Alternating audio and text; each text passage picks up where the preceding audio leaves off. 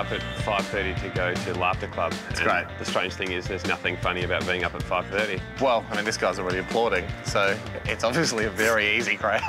Apparently, it's sort of like meditative. Like everyone just gets around, and at the start you're fake laughing, but by the end you're real laughing. I don't know what they do to make you laugh. I don't know if it's like slapstick or like Fred Basset comics, but whatever it is, I'm ready to laugh. Mother Nature played her own joke that morning, It's raining a lot. but nothing stops Laughter Club. What are the benefits of Laughter Club? If you are from Australia, I am from India. If we laugh together, Yes. we need not any language. No. We need not any differences. We need not anything else. We just laugh and shake hands like this. so only we can bring people together. Yes. By laughing. Yeah. It's a lovely message, but I wanted to test out the giggling guru. If I try not to laugh, do you think you can make me laugh? Yes, definitely. Hmm. It's pretty good, it's pretty good. It's pretty good, it's pretty contagious. All right, you rascal. We learnt many types of laughter the clapping laugh, praying laugh,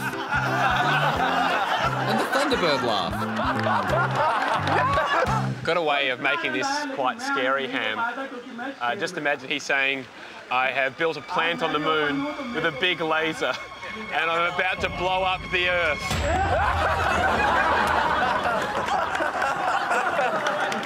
But then the Grand Laugh Master invited us onto the stage. Oh, yes.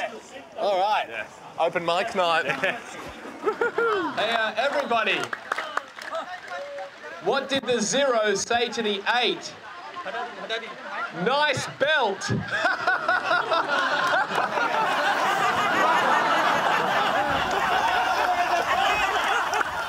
What's the best kind of vegetable to wear on your head?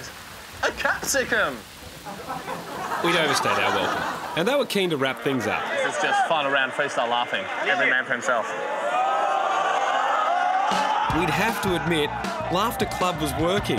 Here we are at five in the morning in the pouring rain without a care in the world. Almost. Seriously, where are our shoes? I think our shoes are getting wet. Where Andy? Where are our shoes?